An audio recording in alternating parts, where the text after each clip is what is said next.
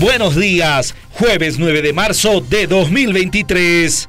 Diferentes colectivos de mujeres participaron en una marcha multitudinaria en el centro paseño pidiendo frenar la violencia, el acoso y justicia. Gracias a las mujeres antiguas que han luchado por nuestros derechos, que somos respetadas hoy por hoy. Nos sentimos orgullosas como mujer de Puyera, me siento orgullosa, como boliviana me siento orgullosa que pare la violencia, que no haya más violencia, que de la gente. El 56% de las microempresas y artesanías están liderados por mujeres. Hoy conocemos algunos de sus emprendimientos. Ya podemos observar mantillas, chompas, chalecos, corpiños.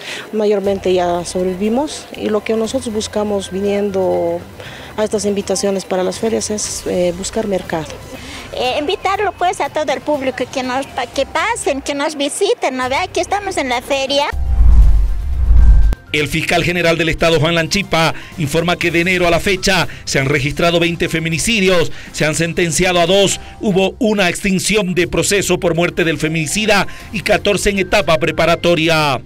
Lastimosamente tenemos que mencionar que hasta la fecha tenemos 20 casos de feminicidio, 20 víctimas producto de, de, este crimen contra la mujer. Maestros urbanos por tercer día mantienen sus movilizaciones en la sede de gobierno. Esperan que el ministro de Educación atienda su pliego petitorio. El fiscal general del Estado, Juan Lanchipa, brinda un informe oral ante la Comisión de Justicia Plural de Diputados por la quema de al menos 25 infraestructuras en Santa Cruz en el último paro. Respecto al daño económico que se menciona, el mismo se hizo conocer de forma preliminar con base en los informes realizados por las instancias pertinentes, que existe una afectación del 90% en la infraestructura del inmueble y que todos los daños materiales posiblemente ascenderían al monto económico de 37 millones de bolivianos,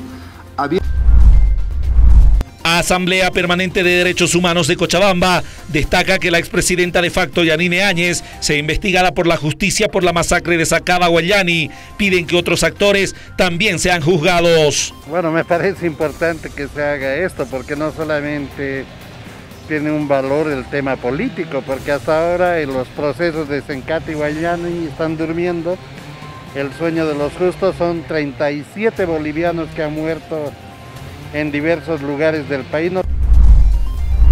La Fiscalía confirmó que Sandra Velarde en Santa Cruz se someterá a un procedimiento abreviado por el caso vertedero. La exsecretaria municipal espera su audiencia para recibir una condena de tres años. Suscrito un acuerdo legal para procedimiento abreviado dentro del caso denominado del vertedero en contra de la ahora imputada la señora Sandra Velarde Casal, eh, razón por la cual el Ministerio Público, dentro del marco de legalidad y objetividad, eh, ha eh, requerido la salida alternativa de procedimiento abreviado.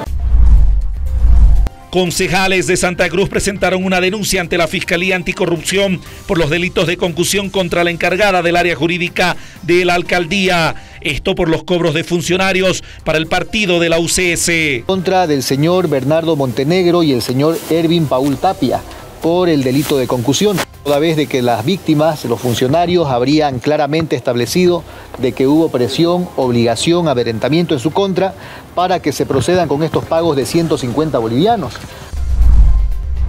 Debido a las lluvias, tránsito de la terminal de Minaza reporta que las salidas a los Yungas son normales, pero piden mucha precaución a conductores. Las salidas son con total normalidad, siempre eh, realizando los controles respectivos. Que...